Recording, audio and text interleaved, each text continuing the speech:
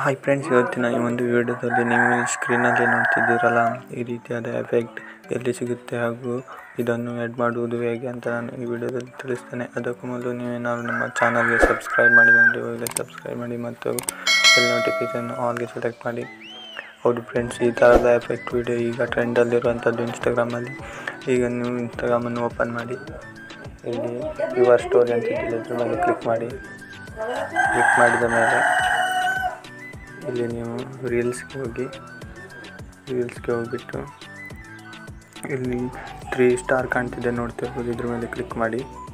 Click ಮಾಡಿದ ಮೇಲೆ ಇಲ್ಲಿ ಗ್ಲಿಚ್ ಬ್ಲ್ಯಾಕ್ ಅಂತ ಸರ್ಚ್ ಮಾಡಿ.